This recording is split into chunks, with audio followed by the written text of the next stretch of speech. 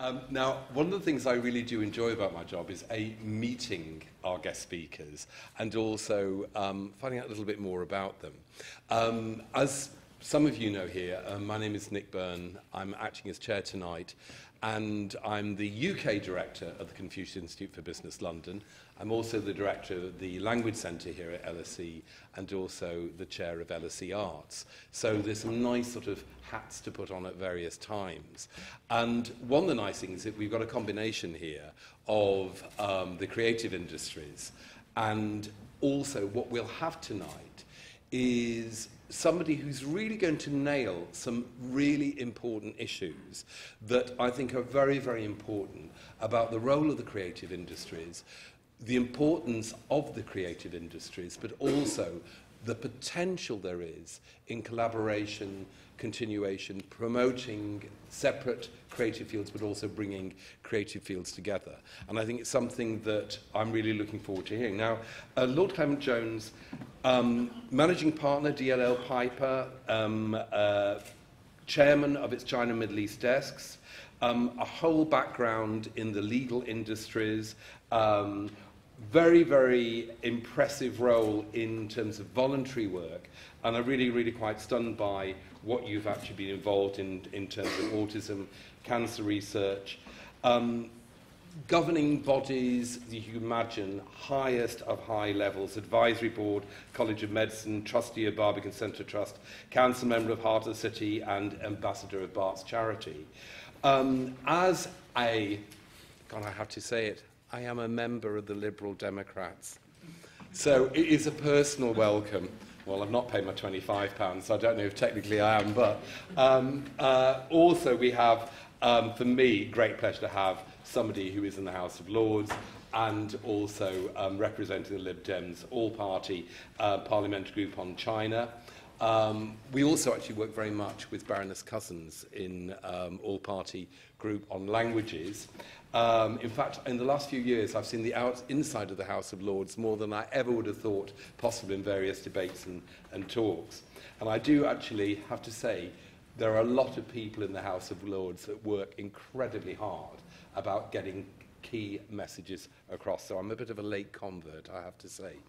Um, I'm going to really sort of leave it to you, Lord Jones, to, to start things off. And I say that I think it's a really, really key topic, and I'm very, very pleased that hopefully this year we'll have at least two talks about the creative industries, possibly three, because it's something that has such potential that can make such a big connection between people, between industries, and it's something where the language of the creative industries really does bring people together. At this point, I'd like you to put your hands together for um, a warm welcome to Lorena. Thank you very much. Well, uh, Nick, thank you very much. I think I'd better quit uh, uh, after that introduction. I'll quit while I'm ahead, you know. Um, but uh, thank you very much, and uh, you've got some very good qualifications there, I must say, for your introduction. Uh, regular visitor to the House of Lords, Liberal Democrat, uh, uh, etc. So thank you very much uh, indeed um, for that. Um, now, really, uh, uh, tonight's lecture does uh, bring together, and this is why I'm a complete pushover when people give me the right kind of invitation, uh, uh, two great interests of mine, uh, China and our creative industries. And uh, by that, I mean the whole range of cultural activity, including the creative, visual, and performing arts and the content industries. And it's uh, rather good, actually, to see a number of very familiar faces associated not only with China, but also with the creative industries. Um, so I think I'm in uh, extremely good company uh, tonight. And I want to talk about the relationship between China and the UK in the creative industries and demonstrate that we now have a great opportunity for a strong creative and cultural partnership between China and the UK if we seize the moment. Now, the UK has the largest creative sector in Europe, and this includes film, TV, video games, and publishing, architecture, art, design, fashion, film, video games, music and software. Now, our creative industries are worth something like 71 uh, uh, billion pounds per year to the UK economy, and they represent 5% at least of the UK GDP, and some people believe that's a bit of an underestimate. And the sector as a whole is growing at twice the rate of the rest of the economy, and it accounts for about 2 million jobs currently. But also, um, uh, uh, uh, exports are worth 16 billion pounds annually, or 4% of all UK goods and services exports. So again, not only big for the GDP, but big for exports. And a crucial factor in recent growth has been the tax treatment of film production, and this was followed by high-end television and animation, and later the video games relief. And now we've got this new theatre production tax relief and patent box, which will also have a major impact too. So what has been very interesting is that some of our financial policies, our tax policies, have been looking very carefully at the contribution that the creative industries uh, can make to our economy. And that's all part of what we might describe as the coalition's rebalancing agenda. And uh, the tax uh, treatment of film production has supported more than £5 billion pounds of investment into British films and contributed to a 70% increase in the film production workforce since its introduction. And uh, uh, I expect that is going to be the same, uh, have the same impact on television, uh, animation and video games uh, in due course. In London, where we are, uh, creative industries represent 16% of the local economy. As Innovate UK, and they used to have a far more user-friendly uh, uh, description called, they would call themselves the Technology Strategy Board, which really tells us much more about what they actually do. They said in their creative Industries strategy document last year, the UK has a share of around 5% of the global export market for creative goods. It is a broad and diverse sector which ranges from advertising and crafts to performing arts and video games. As well as their direct economic value, these industries play an important role in catalysing innovation across the wider economy through the products and services they provide, but also as a means of originating and spreading new ideas, knowledge and ways of working. So the significance of the sector uh, is enormous. And as uh, they say, major trends of digitization and convergence have all contributed to the emergence of a digital landscape of increasing complexity. And it's that digital landscape which is one of the, the great opportunities.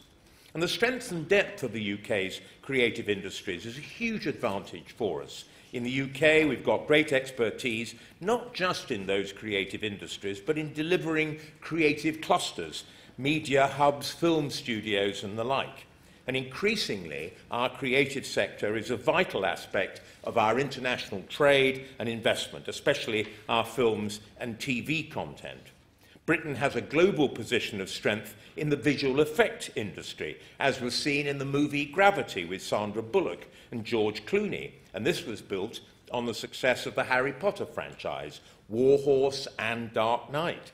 70% of international advertising agencies have their European headquarters in the UK.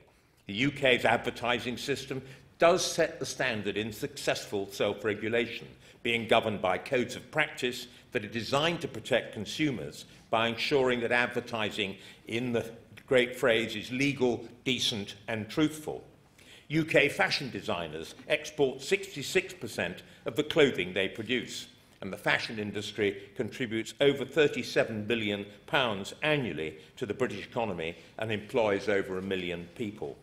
Famous and creative brands such as Burberry, Jaguar, Bentley, Aston Martin, Land Rover, not to mention Chivas Regal and Johnnie Walker, are highly sought after by Chinese consumers. The UK is home to over 40% of Europe's electronic design industry. Samsung's European Design Centre is located in London, for example. Huawei has invested in a design centre here too. There are now more than 1,500 companies in Tech City in London. 70,000 people are now employed there, and there were 15,600 startups there in each of the past two years. And the UK is also the highest net exporter of computer games and information services in the G7. UK-made computer games account for 12% of the world games market.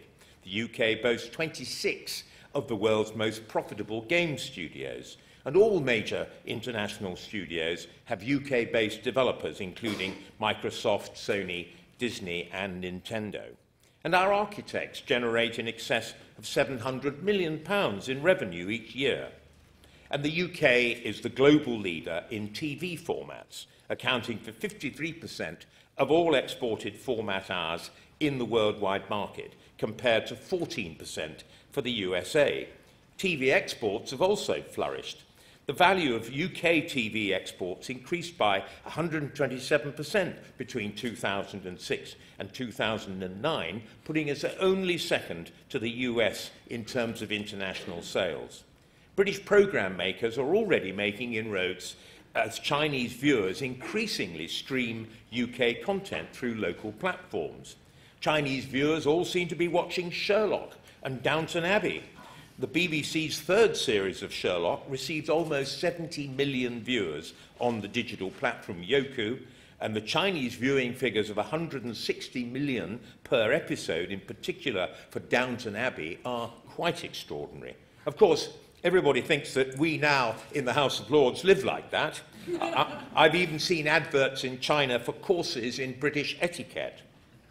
The UK Creative Industries Council has now launched Creative UK, which is the creative industries industrial strategy, which sets out ambitious plans to increase the number of UK creative companies that export around the world. But something very important for creative industry is also happening in China. In the last two years, I've visited a wide variety of cities, including Beijing, Shanghai, Hangzhou, Hong Kong, Shenzhen, Chengdu, Qingdao, Xiamen, Suzhou, Taiyuan, and Nanjing. That's quite a list. And in all of them, whether in discussion with business people, national, provincial, or municipal officials, or students and academics, I've seen total agreement about the new importance to China of creativity and the creative industries. The sector has been growing at more than 20% a year since 2004. There are more than 50,000 cultural and creative enterprises in China, of which 8,000 are state-owned. The most profitable sectors have been advertising, IT services, tourism, indoor entertainment, cable TV services, and publishing.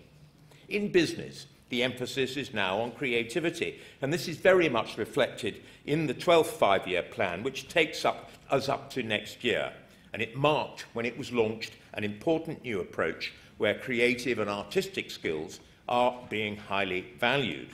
As the former chairman of CBBC, the China Britain Business Council, Sir David Brewer, said in uh, UKTI's publication Creative Industries in China Opportunities for Business, which was published a few years ago, uh, in the year the plan was adopted, having largely relied on imports of foreign design and technology for many decades, China has woken up to the need to develop its own creative abilities.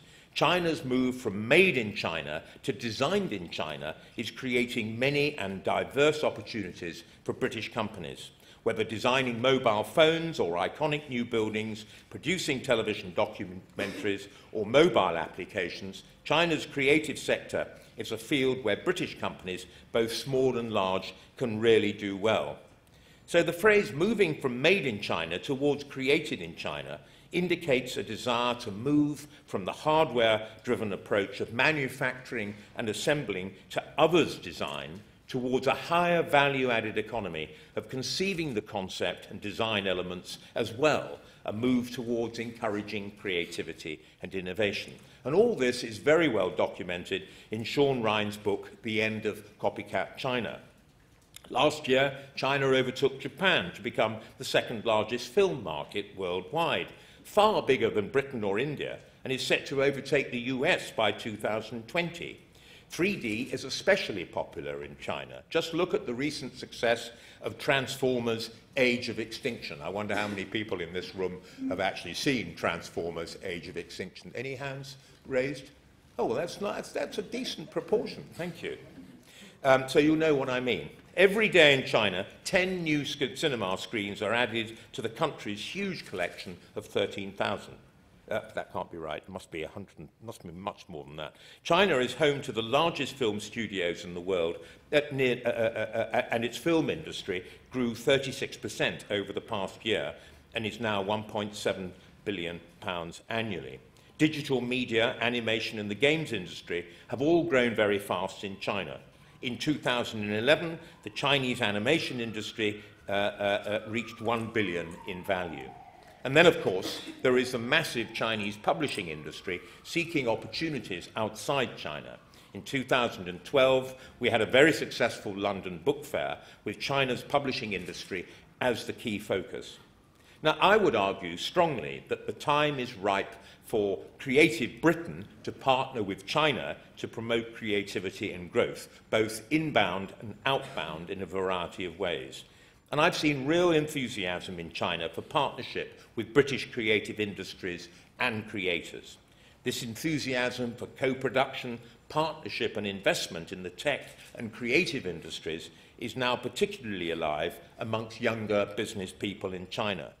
The UK in particular is in a great position to promote itself as the best possible creative partner for China UK creativity is highly marketable, award-winning and sought after by global business. In 2010, the UK pavilion at the Shanghai Export Expo made a huge impact. The Chinese took genuine pleasure in the success of the British pavilion and took to heart what we call the Seed Cathedral and they called the Dandelion. The Thomas Heatherwick designed UK pavilion not only won the top prize, it cost a fraction of the other nations' pavilions and was named one of the best 50 inventions of 2010 by Time magazine. In 2011, Beijing Design Week chose London to be its first honoured guest city, and the UK was represented at the event by some of our finest designers. And the London Olympics were a huge boost to the perceptions of British creativity and creative heritage when we took over the Olympic torch from Beijing. The London Olympics were followed by the Great Campaign. On his visit to China in October last year, the Chancellor, George Osborne, hosted a Creativity is Great reception to showcase British innovation, tech and creative industries and encourage Chinese creatives to experience what Britain has to offer and the cap it all, guests were greeted by the waxworks of royal couple William and Kate to, the launch, to mark the launch of Madame Tussauds in Beijing. Now that's salesmanship for you. Since the PM visited China last year, Buckinghamshire-based Pinewood Studios has signed an agreement with Wanda to advise on the design and construction of a new film and television studio complex in Qingdao, Once completed, it will be one of China's largest film and TV studio facilities. London-based Silvergate Media has signed a deal with CCTV to broadcast its children's TV programs Octonauts and Peter Rabbit in China. And if our creative businesses can get the basics right, there is no reason why they should be deterred or frightened by emerging markets such as China but we really need to understand how the Chinese market works. A report published in 2012 by Nesta, formerly the National Endowment for Science, Technology and the Arts, Crossing the River by Feeling for Stones, a new approach to exporting creative content to China, mentions that a particular stumbling block in China for UK creatives is the uncertainty around local demand for their products. They highlight the danger that the UK is not investing in building the relationships with Chinese consumers uh, now that could pay handsomely in the future, if and when the business models have been worked out. Nesta point out that success depends on a delicate balancing act between the global and the local, and describe the runaway success of the Kung Fu Panda films in China that were produced by US studio DreamWorks Animation and featured Western actors, but mixed reference to martial arts films with classic legends to offer an imaginative and spirited take on Chinese culture. Now, Harvard Business Review, and it'd be very interesting to see whether you agree with this, summarizes the key characteristics of the Chinese consumer as, first of all, price sensitive but brand conscious. Secondly, lacking trust, and that's why Taobao's business model is very successful versus uh, Western brands. Thirdly, the product of the one-child policy, which means children-related goods and services play a central role. And fourth, increasingly informed, sophisticated, and active. And many uh, Chinese, of course, travel overseas to buy genuine branded products. The biggest phenomenon in China at this time is the internet. And China remains a controlled society with regard to conventional mass media. But by contrast, information circulates very rapidly on the internet because practically and logistically there is only so much that any government can control. The internet also carries significant credibility and people more readily believe in information found on the internet than in television adverts. It is clear that the UK tech creative digital sector will be unable to exploit its strengths unless it becomes more familiar with the way that Chinese consumers access online content. E-commerce continues to grow at an outstanding rate in China and has now reached $1.4 trillion. In fact, Alibaba, through its uh, Tmall and Taobao brands, has become the world's largest online retailer, selling more than 170 billion in goods in 2012, more than eBay and Amazon combined. Any marketer in China should be developing a strong e-commerce strategy as brands' future market share will be inevitably linked to its online sales given current trends. How many Europeans here uh, present, for instance, know that Tuesday, the 11th of November, was Singles Day in China, a day that e-commerce companies have turned into the world's biggest for online shopping. Clearly, I can see that many of you have already been online on the 11th of November, but it is a very, very significant day for uh, e-commerce. Uh, Weibo is China's version of Twitter. Alibaba, it's eBay, and Baidu, a search engine offering a similar service to Google, not to mention WeChat, which is now being adopted by Western teenagers. And they are now gatekeepers to the Chinese online economy. So who needs Facebook, Google, Twitter, eBay, and Tumblr? There are many different impacts depending on different generations. For an important generation, the one-child policy plays the most critical role in shaping consumer and psychological behaviour. As the first one-child generation, this generation faced unexpected opportunities as well as stress and challenge. The only child is the pivotal focus of the family, and they're afforded the best of everything. I don't know if you agree in the audience, who may, may be uh, the beneficiaries of that. Uh, because of this, the impact of Western culture, brands and globalization has been stronger and has resulted in a global view amongst this generation. Now, I've been very impressed in recent visits to China by the new emphasis being placed by organisations such as UKTI, CBBC, the British Council, the FCO, and London and Partners on the creative industries, and they are seeking openings for British creative industry to partner in China. The Nesta report on creative exporting mentioned earlier shows the opportunities, but also highlights that there are many regulatory hoops that you need to jump through when working in China. Just take the film industry, for example. China's ticket sales are too big for major Western studios to ignore, as films distributed in China can potentially make more than Hollywood productions released internationally. But breaking into China's box office isn't as simple as dubbing Western productions or adding subtitles. SARFT, the film regulatory body, has strict control over the content to be broadcast. Chinese authorities view all films before release and have a significant effect on content. For example, Django Unchained was released in China as a foreign film, but pulled from cinemas minutes into its screening, reportedly because of background images of nudity. China still has an annual film quota for the number of revenue-sharing foreign films accepted for full distribution rights. Although that rose from 20 to 34 last year, the extra spots are reserved for 3D, IMAX or animations, and competition is fierce. There have been, however, a number of very important recent developments bringing us closer together. The Film Cooperation Treaty, negotiated by the BFI and signed earlier this year, will give Chinese-led productions access to UK film tax relief and the BFI Film Fund, Eligible co-productions will not be subject to China's quota on foreign films, and this will lead to real partnership between UK and Chinese filmmakers. So far, just two projects have been approved by SARFT under the treaty, with BBC Worldwide being one of the early producers involved. Under the new agreement, filmmakers will also be granted a larger share of box office relief, uh, receipts. The new agreement also promises to strengthen transparency. In particular, rights owners will enjoy access to censorship decisions, ensuring that license deals cannot be terminated willy-nilly or renegotiated by the back door without rights owners having an opportunity to discuss problem areas with censors or inserting alternative films into previ previously signed import agreements. And this is a considerable advance on what are called assisted co-production uh, co-productions, essentially pure location services agreements. The new type of co-production will develop for material for local as well as international markets.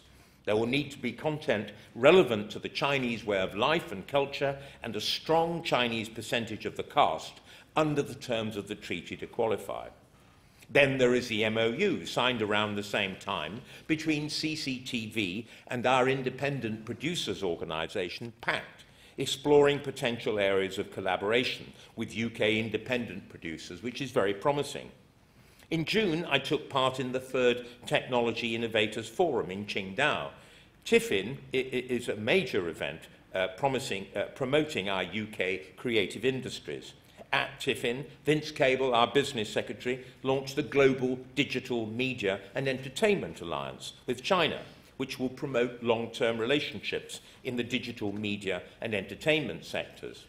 The intention is that this will encourage collaboration on delivering the next generation of products in music, film, digital and video games and deliver a massive boost to UK creative exports and position the UK as the favoured location for inward investment, creating more sustainable jobs and building a stronger economy and it will greatly benefit the UK's creative industries. And already, Qingdao's West Coast New District has signed an MOU with UKTI in London to cooperate in building an international digital entertainment port. TIFIN itself encouraged collaboration on delivering the next generation of all these products and brought together the most exciting Chinese and British creative technology companies with high-profile political, financial and entertainment leaders adopting a strategy that Chinese businesses in other sectors have pursued so successfully to develop their technological and managerial capabilities, 37 Chinese film companies are also being encouraged to agree joint ventures with leading foreign companies, where Chinese companies have a majority stake. Pinewood Shepperton, home of James Bond, for instance, announced a joint venture with Chinese media group Seven Stars in April, the chief executive of the British Film Institute, Amanda Nevill, is now looking into a partnership with the Beijing Film Art Archive and creating a BFI channel on China's version of YouTube. The, UK, the China Cultural Industry Investment Fund gives special support to sectors, including entertainment, animation and digital games, TV, film production and distribution, publishing, cultural exhibition, and internet media. Generally, however, despite or maybe because of it, doing business in China requires a strong network of support. Partnership must be embedded within a larger strategic vision on a long-term basis, not undertaken on a purely project-by-project -project basis. Consumers and business may be now increasingly online in China, but as ever, building strong relationships is where the future still lies in China. In addition, it is clear that there is a real role for collaboration between the UK and China in developing creative industry hubs or clusters in China and the UK. And our cities have done much to turn themselves into creative hubs. We have Media City in Salford, Manchester, which now contains, uh, uh, in, near Manchester, which now contains the main studios of the BBC, and Manchester Airport City Enterprise Zone is becoming a northern digital hub with the aid of 800 million pounds of Chinese investment. And we have film studio developments, such as Pinewood Shepperton, as I mentioned, or such as Warner Brothers Leavesden, where the Harry Potter films were made, and where there is a now superb tour, uh, incidentally. And we have film, photography, uh, and production in Brighton, uh, video games and special effects in Dundee. So a whole range of different hubs and clusters. And there is no doubt that in China uh, they can benefit from this kind of experience in developing and managing space suitable for creative enterprise. Tech City in East London is emerging as a potential rival to Silicon Valley in the US, with Vodafone, Google, and Facebook taking space. Now, some major Chinese technology companies are becoming involved and committing to investing in the long term future in the area. I've mentioned Manchester Airport, City Enterprise Zone earlier, uh, uh, uh, and there are a number of other significant investments uh, taking place. Best practices out there for us to share with our partners. I'm sure that there are strong partnerships to be made between British companies and cities and Chinese municipalities and enterprises in developing and managing space uh, suitable for creativity of all kinds. Leading educational institutes have set up research centres and have been engaged in developing policies and plans for industry cluster mapping on behalf of the government. Certain cities in China are successfully turning themselves into creative hubs. Beijing is home to more than one million creative professionals, whilst other leading cities in the sector include Shanghai, Hangzhou, and Shenzhen. And then, of course, there are plans for the new West Kowloon Cultural District in Hong Kong. Just look at Hangzhou, for example, the capital of Zhejiang province. The annual average growth rate for radio, TV, and the film industry is currently over 20% and is committed to becoming a national digital TV industry base. There are 200 TV and film production companies in Hangzhou, and the Hangzhou municipal government determined to turn it into the animation capital uh, of China uh, uh, as soon as they can. And of course, we've had a number of successful Chinese film festivals here in London, and we're all looking forward uh, to the Screen China Summit uh, this December. On the in inward investment side, what I hope will become an increasingly typical example is Rekoo. Rekoo is Asia's largest social gaming company and recently announced that it is setting up a base in London's Tech City, the first high-profile Chinese technology company to do so. It currently has 15 million daily PC gamers and 10 million daily smartphone gamers, predominantly located in China. We, of course, all need to make sure that creators are able to monetize and receive proper reward for their works and the skills that they have and the partnerships and collaborations that they enter into. Intellectual property protection through copyright enforcement is a subject of increasing importance in the digital age. In previous times, we did not necessarily have a common agenda with China, but with much more intellectual property now being created in China between us, we can work in partnership to protect it. And working in dialogue uh, between the Chinese government and the UK intellectual property experts, together we can make progress towards much better intellectual property protection and enforcement. In China, the IP protection regime is rapidly changing as Chinese homegrown IP grows in importance. We need to stay abreast of the new business models, but all to a greater or lesser extent depend on good IP protection. And we must ensure reform in China and elsewhere is timely to enable creative content to be exploited both on the regulatory and uh, legislative reform side, and the development of education of the public and others in the value and importance of IP to the creative interests are vital uh, for their future viability and in their ability to deliver quality content. For some time now, we've had an IP, an expert IP attaché in Beijing, giving regular updates on the many welcome copyright developments in China.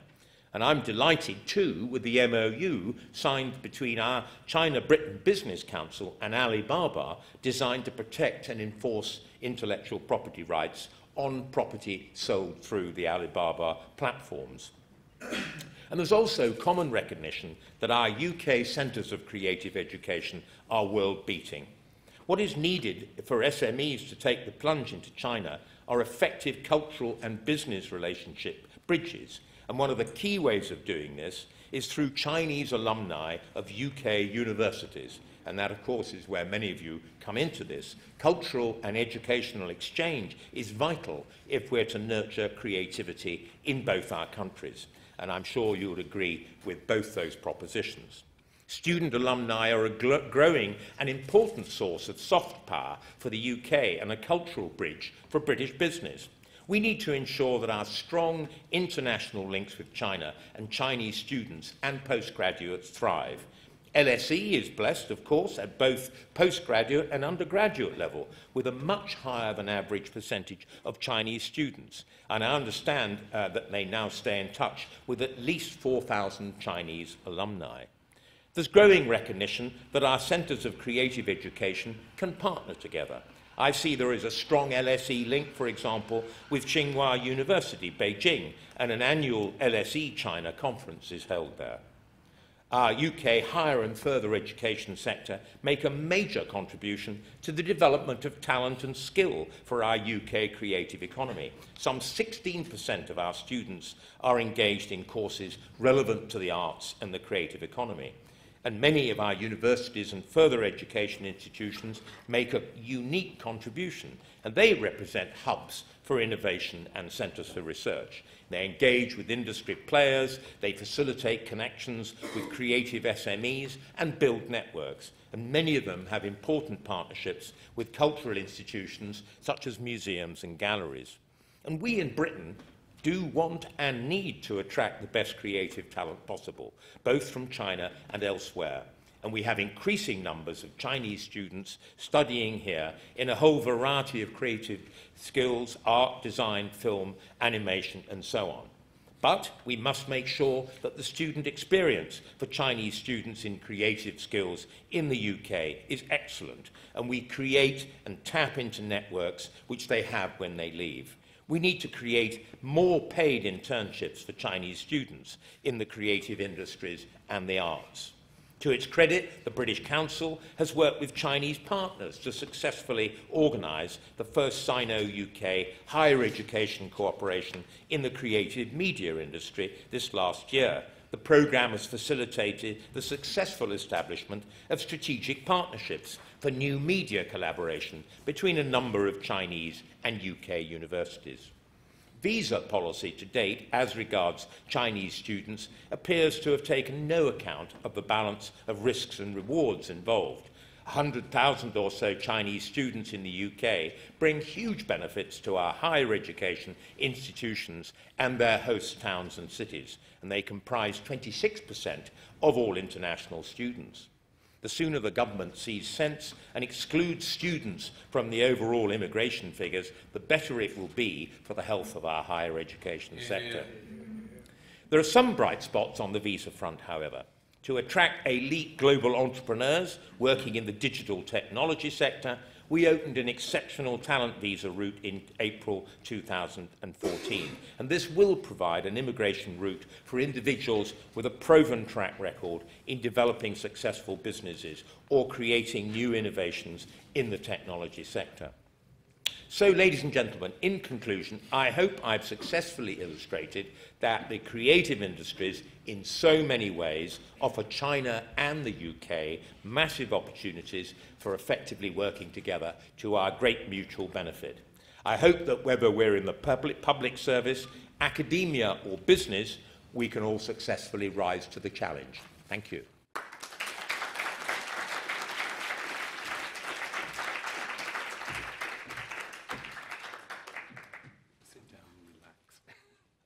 Um, again, I said right at the beginning that um, you were going to absolutely nail it, and you did. Um, I'm going to give you a glass of water. I realise you probably are like a desert there. We can get that sorted. And it gives you a chance to relax. And I'm going to, I'm going to burble a little bit. Um, I've made quite a few mental notes. And the key word up there that I think we need to look at is partnership. Because I think the things that, that you were saying, one of the key roots of success is partnership. It's not just a simple matter of we buy, you sell, you sell, we buy. And I think it starts very, very early, and it starts very much with student level. Um, I'm a governor at the Arts University Bournemouth, and film and animation is one of the strong points, and already there are links with China in that, particularly in special effects. And that I know that as a governor, the, one of the things that we look at are the importance of international links. And certainly, China is one of those key places that combines a market but also a whole new way of looking at things and a whole new way of dealing with creativity.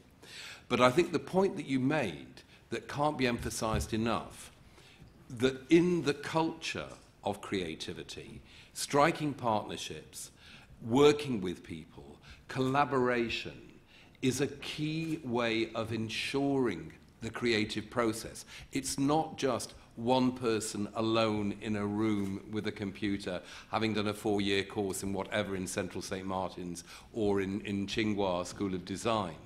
It's when you get out, how you collaborate, it's so important. And as you do, I'm sure you've all been reading the October edition of Italian Vogue. Well, some of us here have, and that's me.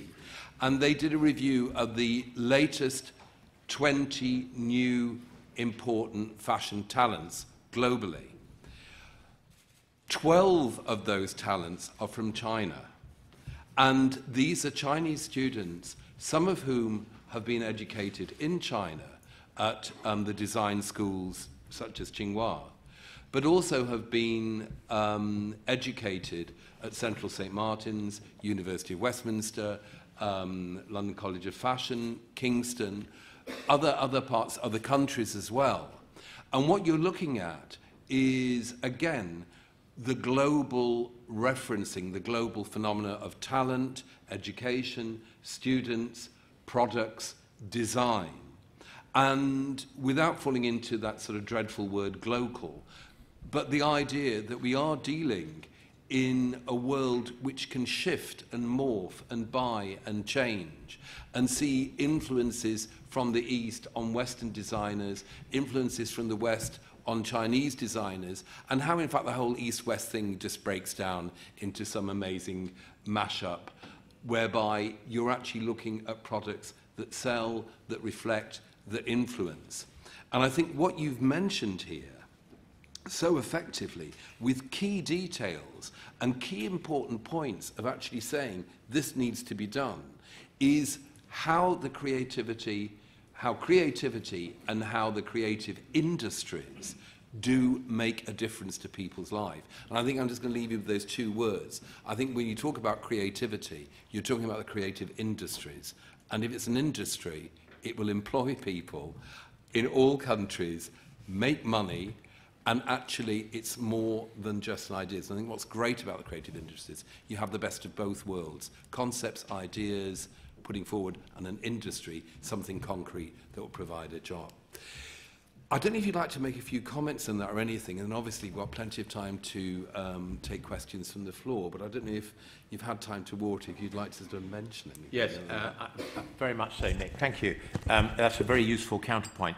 Um, I think the important point is uh, it's got to be a genuine partnership. This is not just a kind of relationship where one side gives and the other takes. Uh, it is about developing skills, uh, creativity, and so on. And uh, I think one of the noticeable things about things like um, British Fashion Week, uh, and I think we now have four of them. We have one, uh, have two for women and two for men in the course of the year. And I uh, am quite close to the British Fashion Council, and so I sometimes uh, uh, go to the shows or I reflect on the weeks that they have. And it is absolutely noticeable over the last uh, uh, couple of years uh, to see the rise of the uh, Chinese designer in both men and women's wear, basically. Um, and that is a very notable uh, uh, aspect of it. Um, and many of them, as you say, are actually being uh, uh, trained, if you like, or educated, uh, whatever the, the, the appropriate word is, in our fashion schools and in our um, uh, creative colleges. So, I mean, that is a really important thing. And of course, they have exactly the same issues that our young designers do, which is um, and I uh, talk regularly, um, probably more often to young um, uh, musicians and would-be music managers, it's really how to monetize the uh, talents and the skills that they've got and that they've learnt at, their, at college. Um, because that is one of the big difficulties. It's getting um, uh, uh, to the point where you can start up a business or you can uh, uh, exploit the kind of knowledge you've got and actually earn a living out of that. And that's one of the issues and one of the, the, the frequent areas um, where people forget that it isn't enough simply to have a talent or uh, uh, uh, uh creative talent or uh, experience in something. You've got to be able to actually build on that. And, uh, uh, and, and it isn't always a question of going to work for somebody. In fact, nowadays, I think that uh, more and more people do not want to go and work for somebody. They might do an internship or they might get experience, but actually they want to strike out on their own, and therefore they need to know and need to have those commercial skills uh, that will actually help them uh, run a creative business. And uh, uh, I'm afraid to say that creative businesses face unusual issues in terms of raising finance, in terms of uh, persuading people to back them. Crowdfunding is making something of a difference, but uh, because uh, creative industries are perceived as more risky, then uh, uh, inevitably they're more difficult uh, for people starting them up. And I don't believe that's any different whether it's in China or in the UK. Uh, uh, uh, and of course, you know, the commonality is also the digital economy, which in one sense makes it easier to get started, uh, but in another sense, to achieve scale is sometimes uh, more difficult as well. So uh, uh, there are all sorts of schemes, and for instance, the British Fashion Council um, that, uh, that my firm gives a bit of pro bono advice to, have a scheme called New Gen, where they select a certain number of promising designers um, and they help them develop their commercial skills and uh, you know move towards um, a sustainable business, uh, which is what it's all about. And I think we need more of that in more different creative sectors. Um, and I think people are more and more aware, especially with banks, frankly, not delivering what they're meant to be delivering. You know, uh, uh, the last source of finance many, many people now go uh, to is, is for bank finance because, frankly, banks don't seem to perform the function which they're meant to perform. Um, and that's why at least uh, crowdfunding uh, has some benefits. I think um, that leads into a very good point for questions from the floor. Um, what I'd do, would be nice to, to collect uh, a couple of questions, um, so pairs or threes for. We um, need you to speak into the microphone, otherwise um, they'll be on the, because this is being recorded, um, it'll just be silence in the question bits, which will be oracle-like. So, any uh, anyone like to kick off? You've got a gentleman in the middle and at the back so we can work our way to the front. Uh, thank you, Lord Clement Jones. Where does the UK's primary and secondary education policy, especially on the teaching of the Chinese language, stand in all these? And is there any prospects of the British public able to uh, speak Chinese in the same fluency or level of level of fluency they can, like comparable to French and Spanish, let's say? I'm afraid um, you'll find that we're not discriminating against Mandarin. Uh, we're lousy at every language. Um, I mean, that's the truth of it. Uh, the, the, it's really a cultural problem. Uh, I think we share it with the French, funnily enough. It's the one thing we do share with the French, uh, which is this total lack of interest in trying to speak anybody else's language. Um, I mean, it's something that we know that we ought to change, but, you know, I did modern languages to get to university.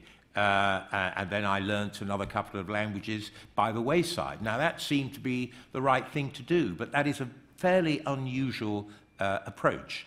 Uh, uh, uh, and, uh, you know, we, no doubt, Baroness Coussins um, in the all-party group is battling with this particular issue. But, for instance, you know, the, uh, our, our government at the outset uh, I think, uh, made um, one of our, uh, non-compulsory uh, at secondary school level to have a, another language, to have a second language. Well, if you're fighting against that kind of prejudice within the Department for Education, um, then you're fighting, you know, a pretty hard battle, basically.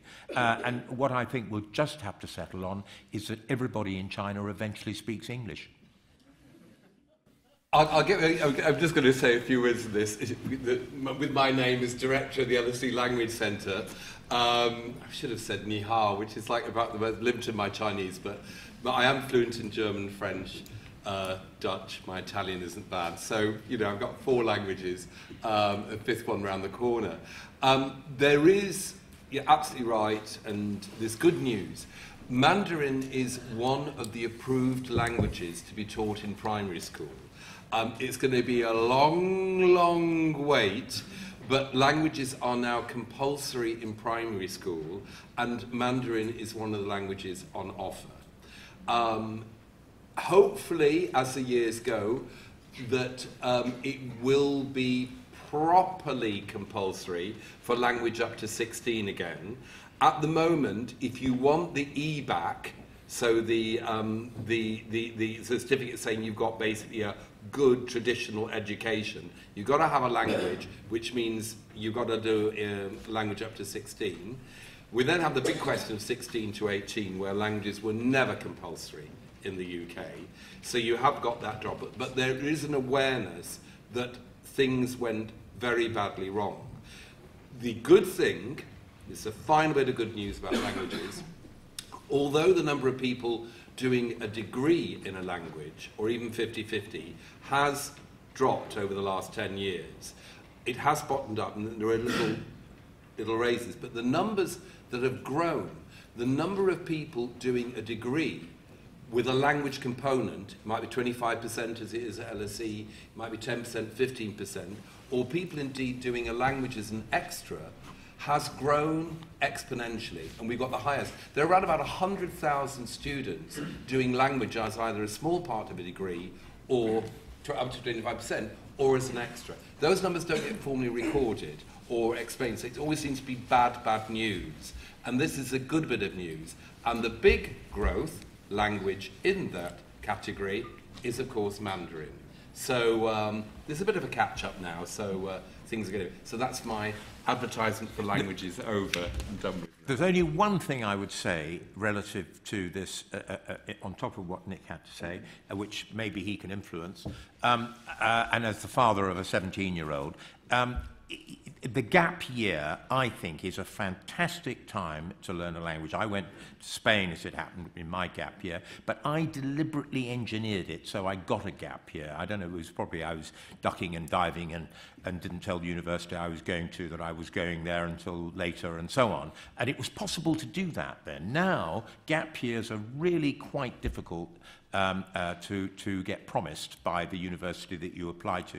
And I think that universities uh, would benefit not only from more mature students if they had, if they allowed gap years, but also students would then be able to go abroad uh, and do. And I think you know Mandarin is a kind of language where you need the year in order to do that.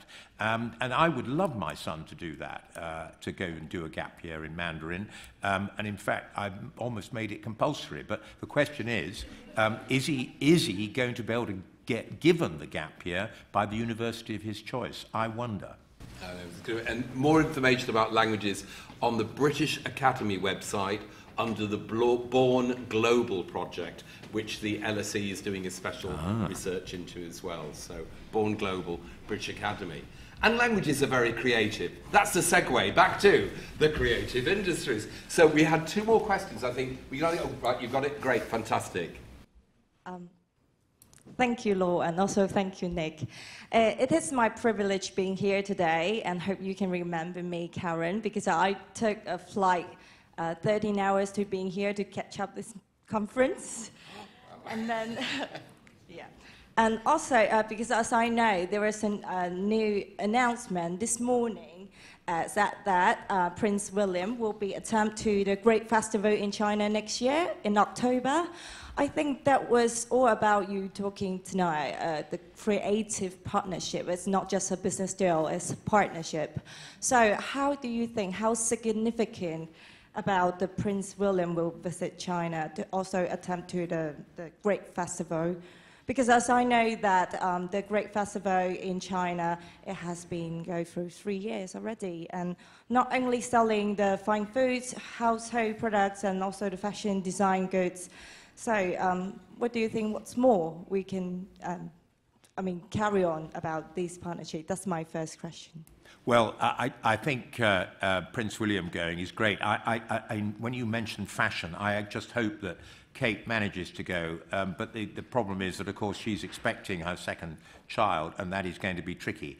The ideal combination would be for the Chinese public to be agog at whatever Kate is wearing and instantly go online uh, on Taobao or whatever it is um, to, uh, uh, to buy what she's wearing. And then our British fashion designers would have, a, uh, would have an absolute field day. But I do think that having Prince William go in person is a great uh, uh, improvement on uh, purely having him in the Madame Tussauds waxworks. Uh, um, and I'm sure he'll do a better job than the waxwork. And also, uh, my second question is about um, uh, yeah, I'm totally agree about uh, you two talking about the, uh, the education exchange, I mean, cultural ed education exchange parts. But also, I do believe that um, not only about the creative um, produce in the UK, I mean, the, I mean, all the, the, the professor being told us how to create the, the, the, the perfect digital films or anything, or the, so the design, architect, art, but also, I think um, um, we, we need to um, do is more about the operation part as well in China, like especially like after we graduated, when we going back to our own country, uh, we can't just show um, our employer then how good what we've been doing, but also about the operation part as well. And then because I've been living here for so long, I know um, not only about the creative produce, also the operation is the most charming part in UK. I think what I take from what you say is, uh, uh, is, is that, you know, in a sense, if you graduate in China, you still need to learn about business and, and how you can apply your creativity in, uh, in a useful way and so on.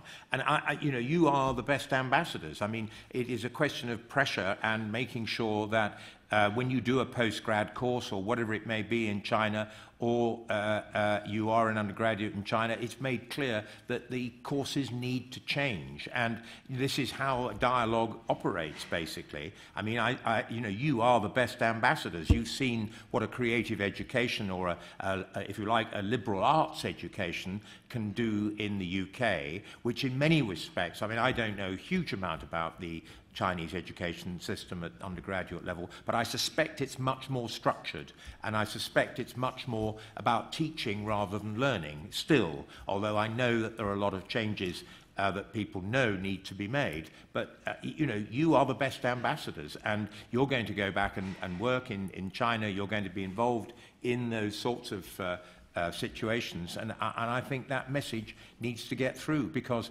uh, it's like everything else. Global competition uh, is a very, very important um, thing, in, not least in education.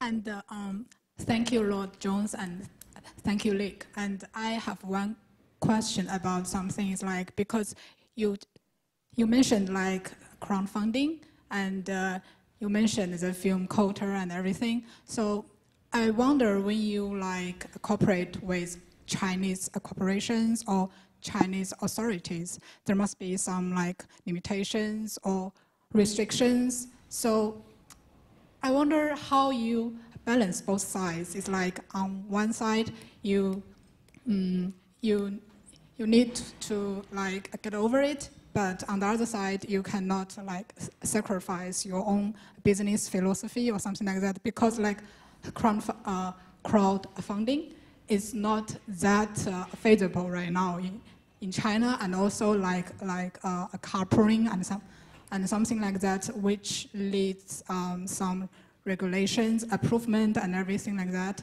So how how um, how do you like balance both sides and uh, make like a win-win or something like that?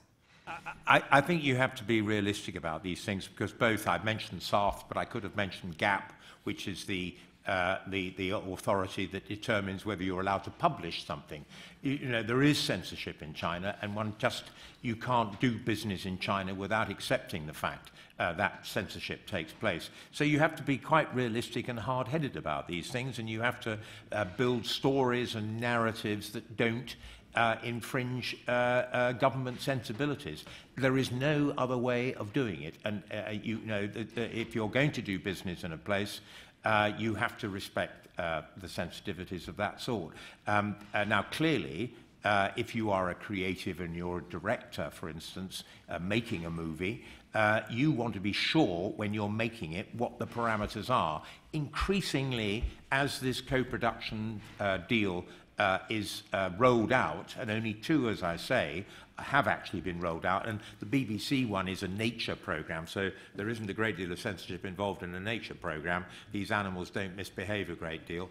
Um, you know, there are uh, uh, issues which are going to arise, and we will gradually understand more about what those parameters are. But you're right, funders love certainty, And uh, I'm afraid there isn't a great deal, and we have to, well, we used the expression in that document about uh, crossing the river by feeling for the stones. Well, I think we're going to have to do that in the, in the words of the old Chinese proverb. You know, that's, that's part of uh, building a relationship, and that's what partnerships are. It is about learning from each other. But I don't believe that suddenly, anytime soon, we're going to find that uh, there's no censorship in, in, in China on creative matters. Two questions from there and then here.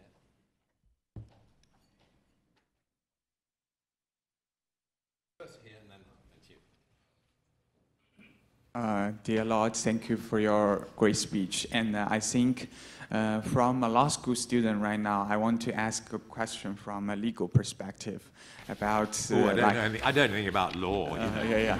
But like uh, you have mentioned Taobao and other Alibaba and other issues in China, and uh, also the movie industry and uh, people watching a lot of uh, copyrights that is not licensing in China, but uh, they uh, they are actually watching it. So these kind of intellectual property rights issues, how to enforce in China? Is there any suggestions and uh, some advice for the government or the individuals in China? I want to hear about your perspective. Well, I mentioned the IP attaché in Beijing, and um, now we, we are, uh, uh, I think uh, uh, Tom Duke has been there for about two years now, but we're beginning to um, uh, really get much more uh, uh, traction in China in terms of dialogue about intellectual property matters, which I think is very heartening. I mean, our judges understand about enforcement of uh, IP to a greater extent, and there are um, schemes for training. I'm not sure, Richard, whether you're involved uh, in that sort of judge training, but um, there are, for the GB Great Britain China Council, um, is, is a very important engine in some of these areas. And uh, that, you know, one, again, it's a matter of making sure that you have a dialogue to start with and then a genuine partnership. And uh, as I said earlier, the marvelous thing is we're going in the right direction because more IP is now being created in China. So, you know, um, uh, the more intellectual property that belongs to Chinese companies, the more uh, they will want to have good enforcement systems and protection systems in China. And that Alibaba MOU, I think, is a very, very important signal that if Alibaba uh, uh, is protecting uh, IP, then frankly anybody can protect IP, you know um, uh, because it's quite difficult online in their kind of business. They, they have to interrogate, you know, they, they have to do due diligence on the products that they're selling, and they sell millions of products, you know, and uh, they have to assess whether it's counterfeit or genuine or, you know, all those sorts of things. Are they infringing people's copyright? They've undertaken quite a difficult job there, and I think it's much more straightforward when it comes to other areas. At the end of the day, it is the legal system, but it's also sensibility, it's educating the public as well. You know, we have a, a, a problem with piracy in the UK, as you know.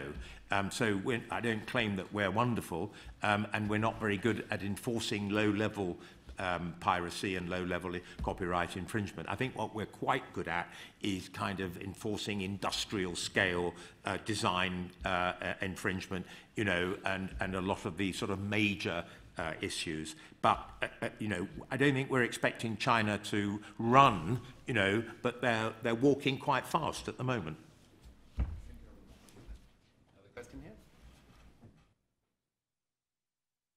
Uh, thank you for the presentations.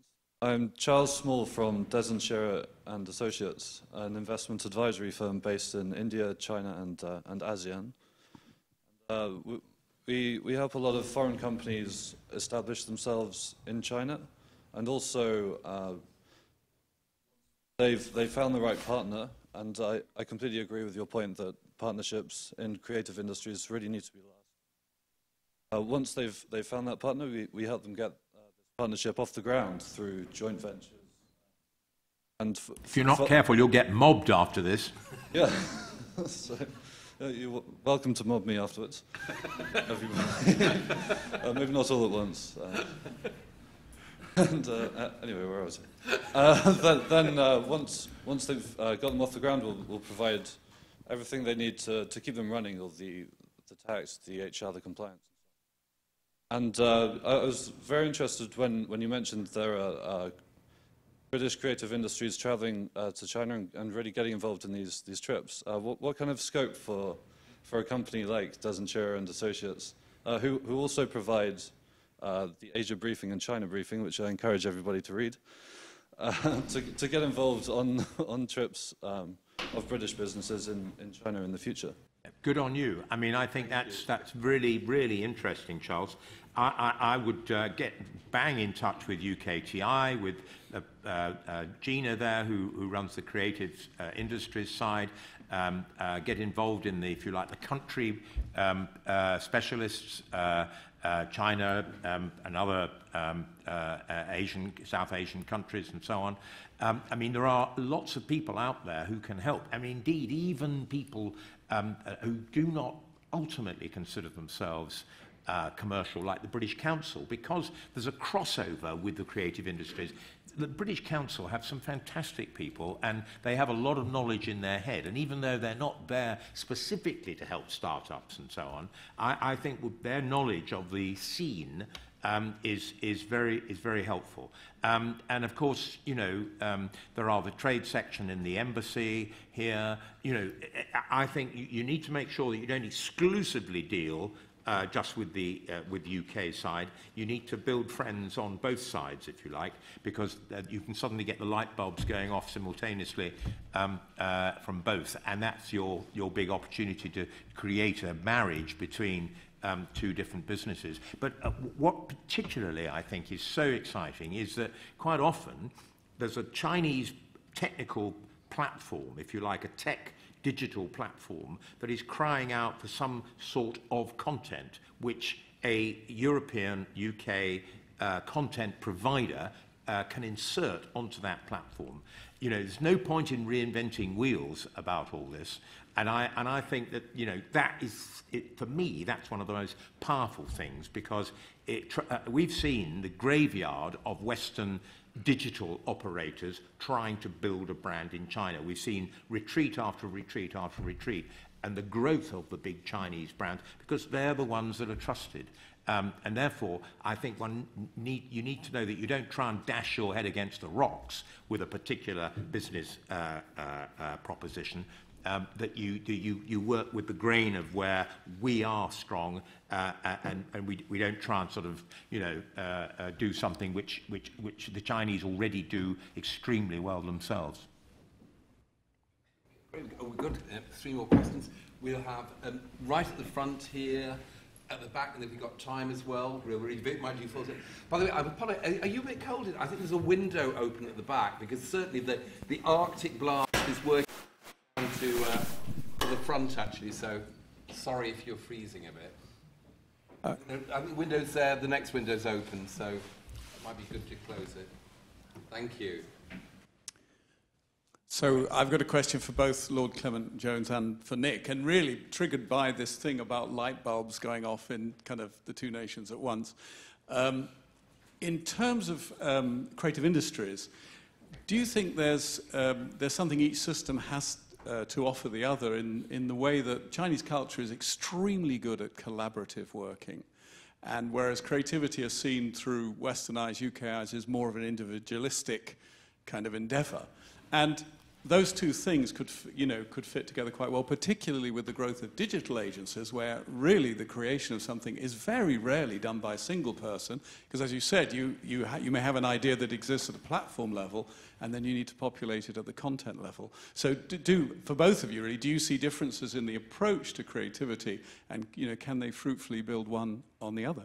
I think at the end of the day, that will come together. Um, I, I, I know exactly what you mean, but of course, you probably have seen some of the um, uh, you've seen some of the, sort of figures on crowdsourcing and so on and so forth. And that by itself is pushing people together eh, because I think that a lot of crowdsourcers are pretty, you know, a one person band is not really attractive. Uh, too high risk um, uh, people know the best way of developing things, which is, you know, like they, I don't know, the smoothies uh, thing is a classic example of a group of people, three people or so, um, uh, bouncing off each other and, you know, in bad times through that sort of early startup period, reinforcing each other's determination and so on. So it's not only the ideas, it's the dynamism and the resilience of the business which is um, affected, I think, by whether or not you do it as an individual or as a group. Now, of course,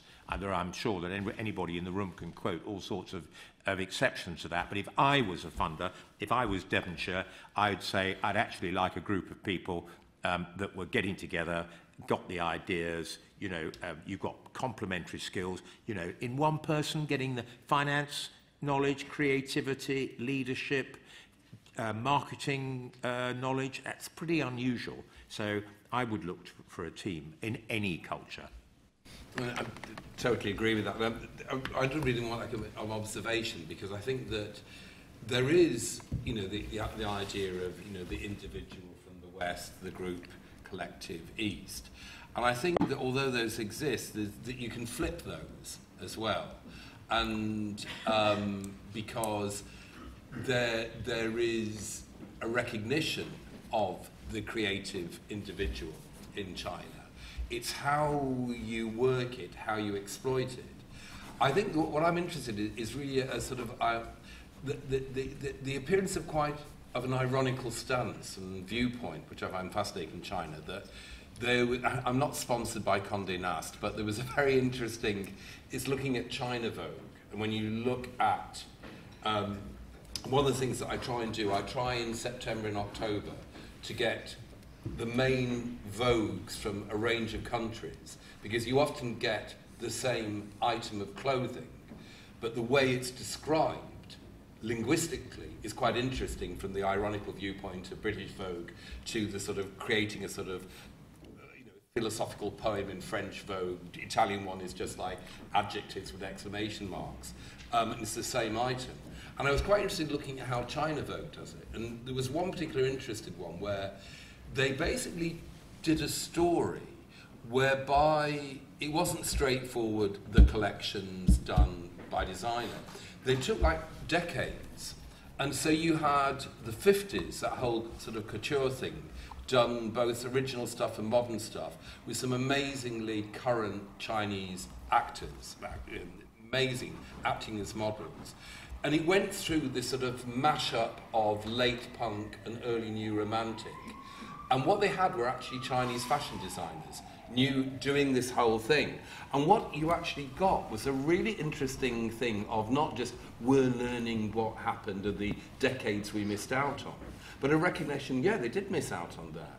And how they're looking at it and how they're using their own individual to, to saying, we are now 2014 we're the generation that was born 20 years before. And how we access this stuff, which belongs to the world, is through media, through magazines. And how we mix it up and how we do it is going to be quite original. And, and I was actually quite blown away with that because it stood out amongst all the Vogues in something that was both analytical, creative, reactive, proactive. Um, and, and I thought from a point of view of something which is basically a very commercial magazine, um, Vogue. It's not, you know, leading in a way of creativity like something like, you know, Purple or Visionaire or any of the others would be. Um, um, I thought that was very interesting, and that's what I'm interested in, seeing how the young creative mind in China interacts, because it, it, it is so, so key for the future. We had a question over there, yeah.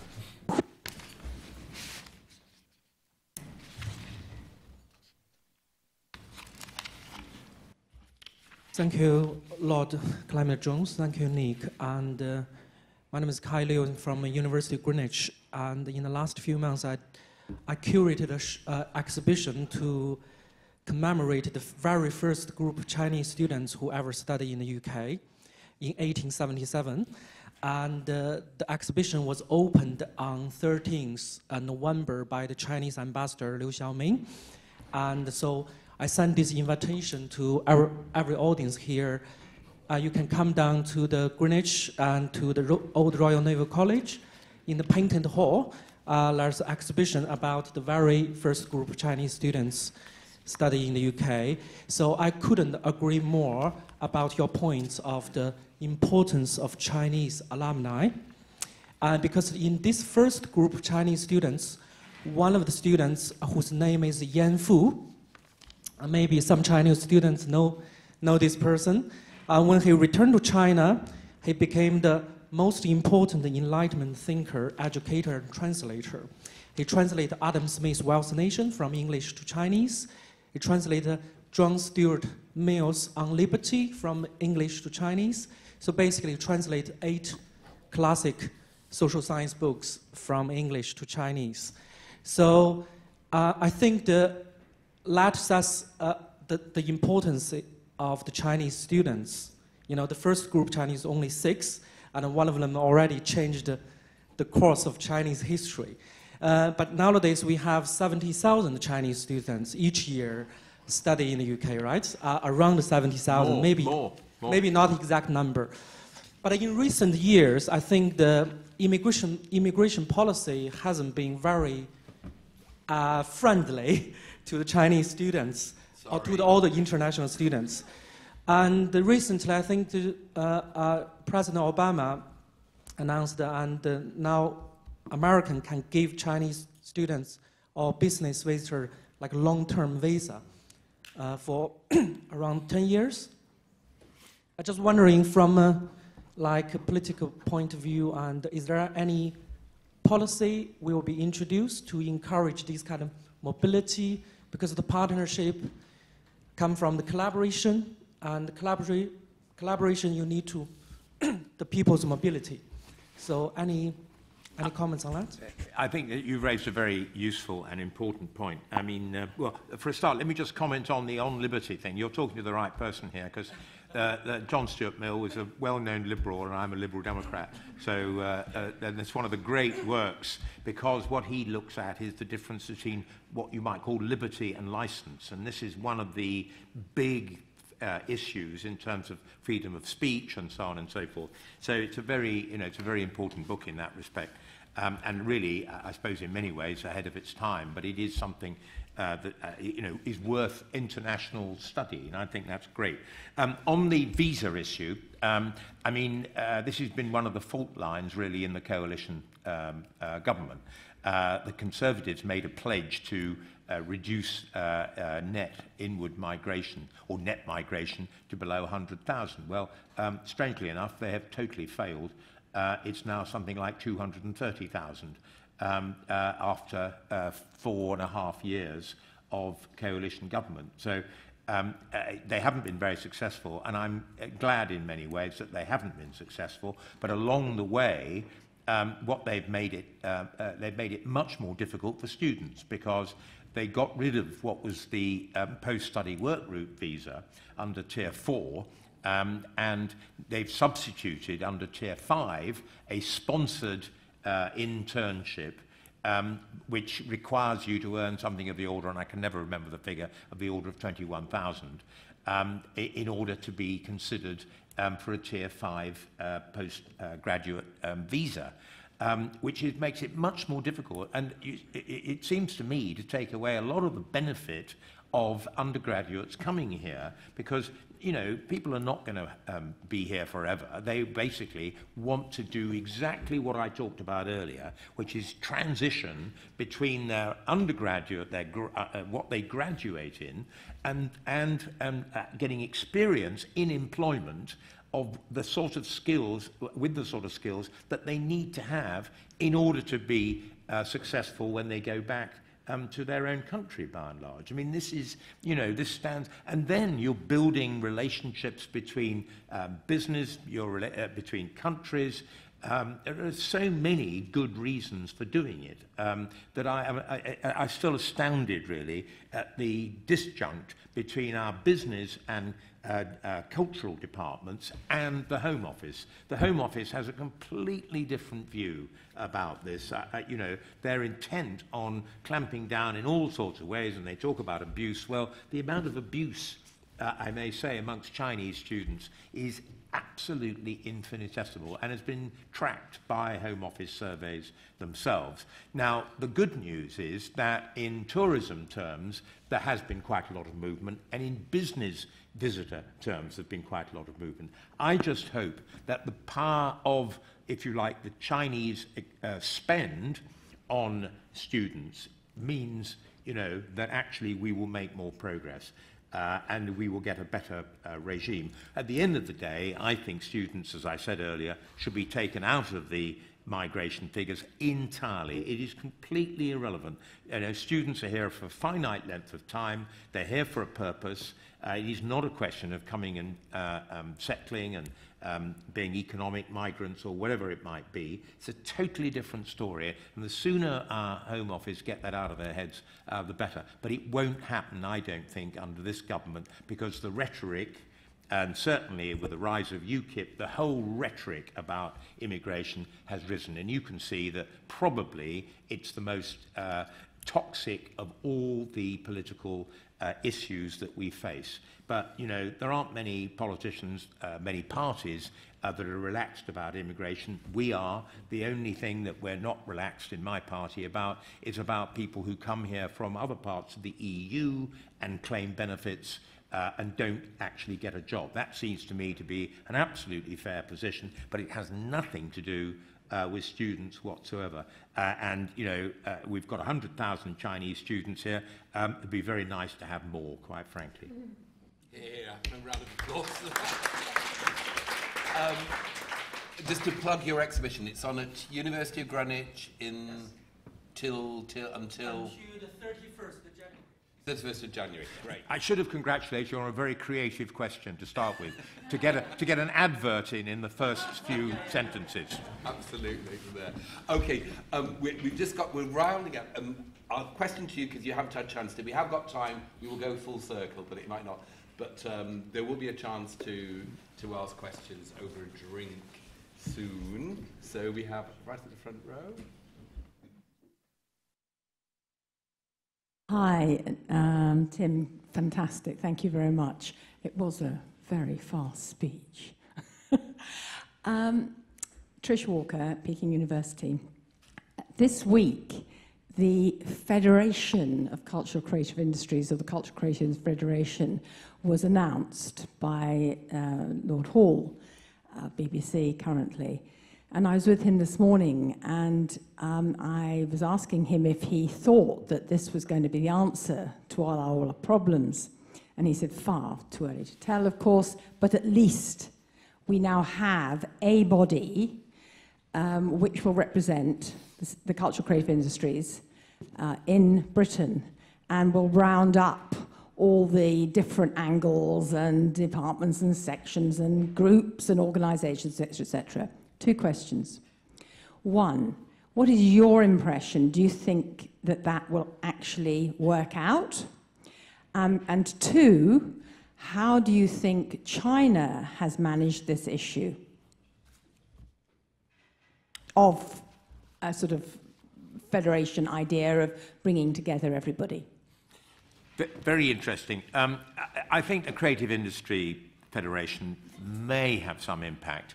Um, but uh, it was very long on celebs and very short on policies. And I'm a great believer when you launch something, what you need to do is to actually say, this is our manifesto. And I didn't see uh, too much of that. And I did go on the website straight afterwards to see if there was anything extra.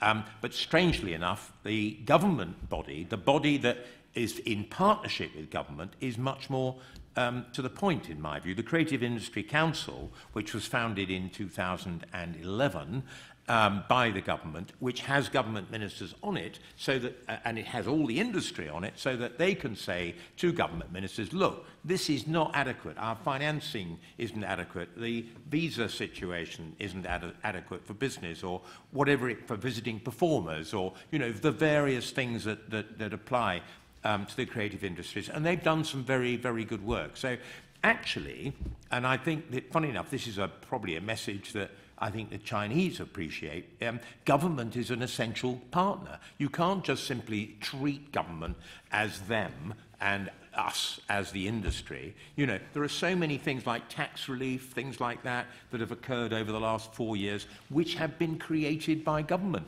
because government was in dialogue with the industry and they recognized especially in terms of the games industry for instance where you know there was a great debate about whether this was um, uh, uh, this was state aid as, uh, under European law and things of that sort. Well, because the government had the will to do it, they got through all that. But, you know, if they were just being lobbied and treated as the, as the enemy, um, I don't think that would necessarily be a great idea. As far as China's concerned, I, um, I don't know, but culturally, I still think that the private sector is not regarded as being as important as the public sector. If you're an SOE, you uh, instantly, you know, your chairman has the status of vice minister or whatever, you know, if not minister, you are plugged into government, you know, um, I, I, I, it's only certain major companies, Alibaba, Huawei, who begin to have really much impact on the Chinese government. And I suspect there's a long way to go before um, young startups, you know, young creatives really feel that they've got the, uh, the, the, the, the ear of government. And I think that's not true, though, of municipalities. I think some of the municipalities, because they want to build cultural hubs, Nanjing, Hangzhou, Qingdao, and so on, are much more user-friendly. So I suppose if I was a, a young Chinese startup, I would want to relate to my municipality, and I would try and forget about the central government for quite a long time until I became as big as Huawei, uh, and that might not happen for a few years. I think that's great. Well, look, this is perfect timing. I think what we've discussed, and it really thanks to you, Lord Jones, is the, the importance of a partnership, dialogue, exploration, getting things done, starting early. It starts at education, universities, connections, and it's a whole process. What I've got from you, and I think we all have, is the energy you get where you gave your speech, I noticed you said it was a really quick one. I loved it because it really sort of rattles through with the energy of things are happening, things are beginning, and the input that anybody can make in the creative process, whether you're a consumer, whether you're a creative, whether you're a producer, we are all in this process. And I think that what you've got um, are so many ways of creating, so many levels and so many areas. And I think that the one thing we got when we go away from this is the potential of everything. And there will be a way of asking more questions because drinks are available on the fifth floor of the old building in, well, we've sort of taken over, I hope we've told people, the director's dining room and the chairman's dining room um, and drinks will be available there. So um, you have to go across Houghton Street into the old building, up to the fifth floor, into the senior dining room area, and you'll see chairman's dining room and director's dining there. We'd love to see you for a drink. So thank you very much for coming. It's the first real sort of wintry evening, and thank you very much, Lord Jones, for really a great talk. Thank you.